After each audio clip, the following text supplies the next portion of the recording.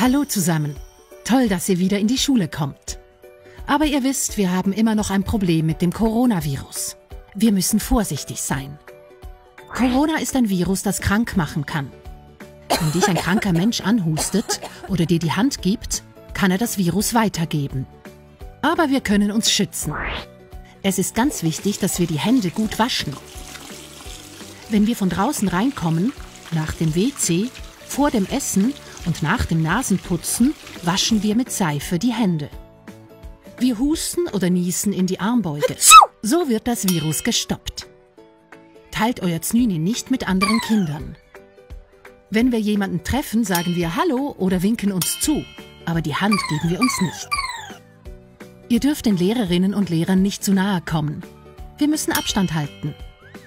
Ganz wichtig, hört auf das, was eure Lehrerinnen und Lehrer zum Coronavirus sagen. Es ist im Moment vieles anders an der Schule, aber zusammen sind wir stark und schaffen das.